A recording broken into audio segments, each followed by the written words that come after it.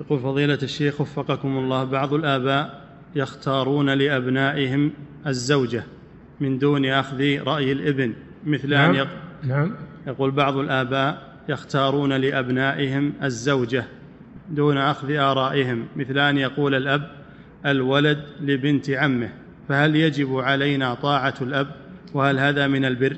لا ما يجب عليك تتزوج بشيء إلا إذا كنت ترغبه أنت.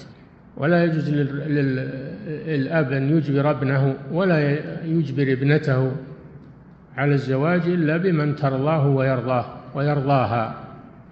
ما يجوز الإجبار أبدا. وليس من حق الزوج هذا. وإذا امتنع الولد والبنت فليس هذا عقوقا لأن هذا من حقه هو. نعم. يقول فضيلة والمخطي هو الأب. نعم.